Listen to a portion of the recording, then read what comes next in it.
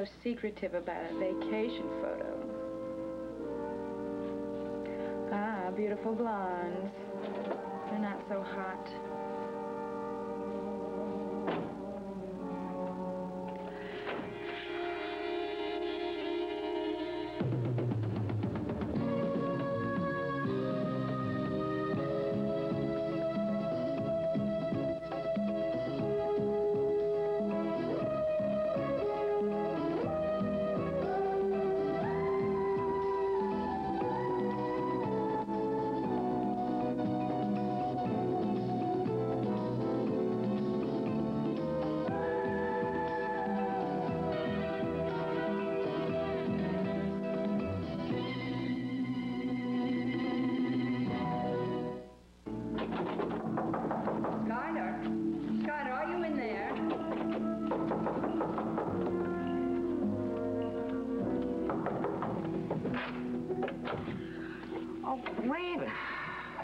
In here? Why didn't you answer?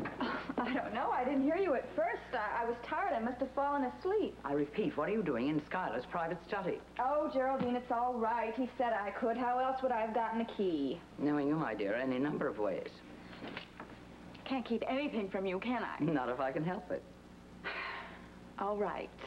So Sky didn't know I was in his study, but it's his own fault he left the key out there in plain sight. And not at all likely it was in plain sight. But you'd have found it if he'd hidden it in outer Mongolia. Well, there wasn't anything interesting in there anyway. Raven, it is bad taste, bad form, and bad manners to snoop around someone else's personal things. Now, I don't care if he's your future husband or not. Amy Vanderbilt would never approve. Please, please don't tell Sky. If you do, there'll be an argument before the wedding, and, and, and it's bad luck. I'll agree to that. If you will leave this room at once and return the key to its rightful place, wherever that may be. I will, I promise. All right.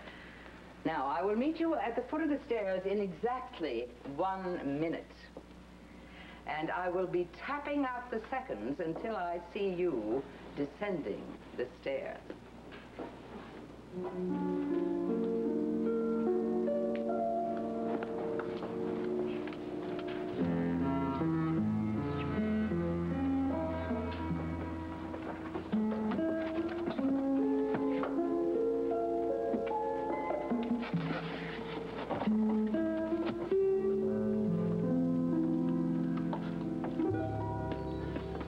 Yeah.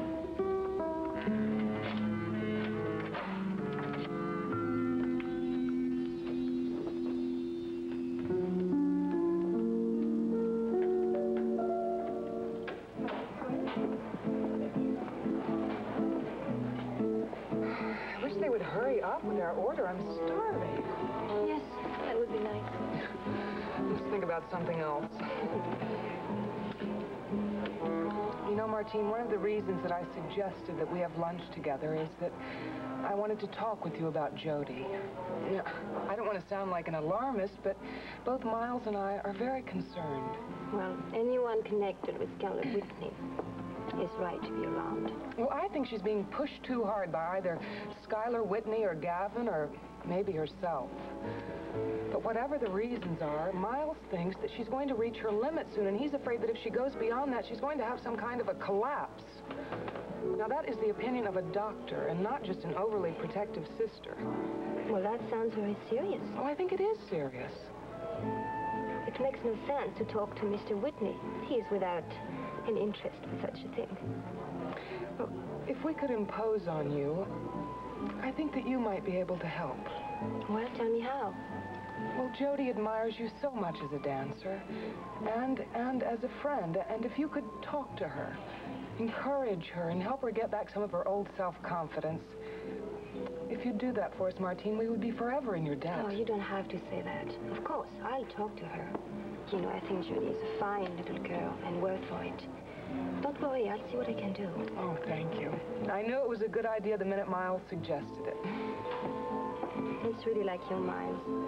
A fine mind. Warm, compassionate. Yes, those are two things which help make him a wonderful doctor. Yes. I'm sure you just know how wonderful your husband is. Oh, yes, I do. In my life, I have been fortunate enough to meet someone like Dr. Cavanaugh, how a different thing would be for me.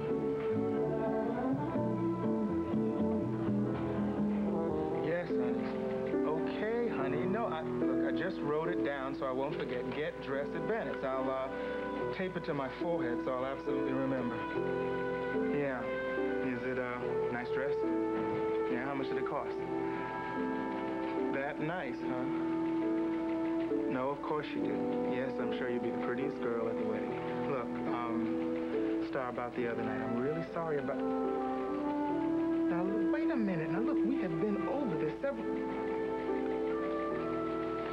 I wish you wouldn't do that. You know, this wedding is driving me crazy. It's costing me a fortune, and I'm not even sure I want to go. Okay, Calvin, what's wrong? Just the usual. Just the usual day in the life of a cop and a cop's wife. I've got to remember to pick up a dress, no less now. Remind me, don't let me forget. She wants to wear it to the wedding tomorrow, and if I show up at home without it, she'll have my head. Sure, right. By the way, who are you taking to the wedding? Nobody. I'm going alone, I guess. Yeah? Well, if you'd uh, like to take one of the beauties from the Whitney Dance Company, I could have Gavin arrange a little something for you. Ah, no, thanks anyway. I don't mind going alone. No, really, it's all right. Okay. Still, I think it's a, a waste of all that uh, masculine charm. Oh, it won't be a waste. I'll just share the wealth. That you will. I'm looking for Detective Tyler. I'm Tyler. And I'm Stoner. Who asked? What can we do for you? I'd like some information about an arrest you made last night. A young black man by the name of Leon Washington. Oh, that's, uh, that's our friend with the fresh mouth. If you'll excuse me, I was addressing Detective Tyler. Oh, well, I'm sorry. I, it's just my want to be helpful. Do you have the file over there? Yeah. Uh, here it is. What's it doing over there? No, couldn't resist it. It's uh, such an interesting case. Well, there isn't much to tell, really. Uh, Mr. Washington was part of an illegal gambling operation, which we raided last night. Uh, he was part of the catch. That's about it. That's about it. I'd like to see him, please. Oh, oh, I don't think that's a very hot idea, lady. Why not? Oh, we've got a very angry young man down there in that tank. I think you should give him some time to cool off. I mean, he's so mad he could be dangerous. He might even do, well, you know, bodily harm, and uh, that wouldn't do. I don't think that's very likely. Look, if you're his girlfriend, I have to tell you, you've made an unfortunate choice. This may come as a rather rude shock to you, Mr. Uh... Stoner. Right. But I am not his girlfriend. I am his attorney. Lawyer? That's right. Now, I won't take up any more of your time if you'll just make arrangements You for me to mean see my... as in his attorney? Mm-hmm. Now, My since card. when has Leon Washington been able to afford an attorney? I mean, I've known this guy from way back. He's always used court-appointed lawyers, never had any money, or so he said. You may find this difficult to understand in your savage official view of things. But money is not always the primary incentive, Mr. Uh... Stoner. Yeah. But it helps a little. I mean, even a lawyer has to eat. At least so I'm told. Well, it depends on the circumstances. In Leon's case, there are other things to be considered. You know, if I'm not mistaken, the ink on this card is still a little bit wet. I think our friend here is pretty new to the uh, bar. Uh-huh. Fresh out of law school, eh? You can always, uh, read the signs. If you'll excuse me, please, I came here for some information about my client, Leon Washington. I did not come here for a personal opinion about budding young lawyers. Now, if you'll just Look, let lady, me... I told you all there was to tell. Now, Mr. Washington was a lookout for an illegal gambling operation, which we raided last night.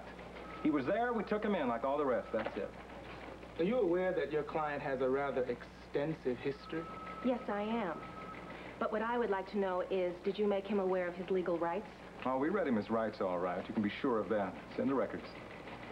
Hmm. You're not going to try to get him off on some kind of a slim technicality like that now, are you? Acting as a lookout for an illegal gambling operation is a relatively minor offense. But with his record, it could go pretty bad for him. If he's convicted, he could be in for a long stretch because this would be his fourth conviction. Hmm, I see they taught you a lot in law school. I bet you were even at the head of your class. I was. Well, then maybe they also taught you that all we do is make arrests and gather evidence. Everything else is someone else's province. In this case, however, I think uh, Mr. Washington's resting here is actually a favor to society, brief though it may be. I'd say that's not your province either. Perhaps not, but I am entitled to my opinion. And I think that uh, it's pretty obvious that Leon Washington is not a good person. He's a bad person. And it is for the good of the good people out there for us to keep the bad people in here. Mm-hmm. What you think overwhelms me with towering indifference. Now, before I go, I'd just like to say thank you very much for your cooperation and your courtesy, Mr. Stoner. And by the way, what did you say your name was? Bannister. No, her first name. Miss.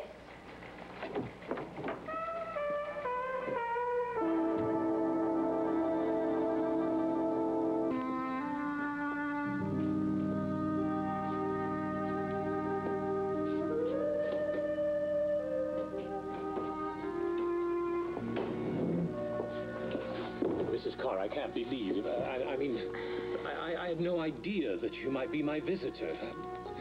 Good Lord, how could you bring yourself to come here after all? the- Dr. Bryson, I'm trying very hard not to hold a grudge because I remember the kindnesses that you offered when they mattered most. And if I can do that, then the memories will begin to fade someday. You must be very happy to be home with your family now. I, uh, I think about that sometimes. Yes, I am. One of the few things that has sustained me here is the, the thought that at least you came to no serious harm. No matter what the changes in my life, my feeling for you remains unchanged. No, I have no regrets, no apologies for that feeling. It may be the only decent thing I've ever felt. Dr. Bryson, please, uh, this is difficult enough without. I, I, you're, you're quite right. I'm sorry. That, that was terribly presumptuous of me. It, it wasn't a plea for vindication, believe me. I know that nothing or no one can give me that. I'm... I'm quite prepared to pay for what I've done. Well, the reason I'm here is to speak on behalf of your daughter. Valerie? Yes. You... you you've seen Valerie? Yes. But how? Why? I, I don't understand. We happened to meet just by accident and had a chance to talk, and she seemed to want to confide in me. You can take an interest in Valerie after everything that's happened? I think the girl needs compassion. That's that's really rather ironic. That compassion for my daughter should come from you. Dr. Bryson, I didn't think I'd have to explain to you. She's heartbroken because you refused to see No, her. no, please, please, don't don't ask me to, to see her. I can't. You can't or you won't. Believe me when I say I can't. Now, please understand that. I, I'm I'm afraid.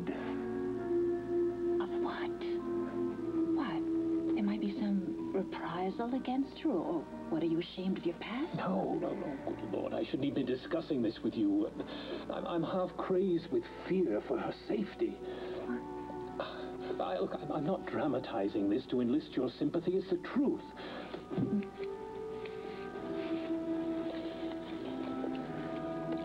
Look at this.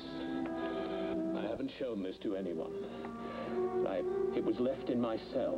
When and by whom, I haven't the vaguest idea, but the warning is obvious. It looks like a sick joke. No, no, it's not a joke. It's a message. It's a threat. It's a sign that I must keep silent unless... Unless I want them to get to Valerie.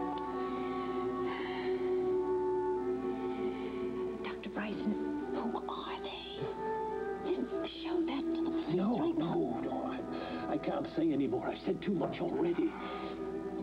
I, I know I haven't the right to ask you for anything, but please, in the name of God, don't say anything to Valerie or to anyone. Now, it's the only way I can protect her now. I I, I, really can't see her. Um, the, only thing I can do for my daughter is stay away from her completely.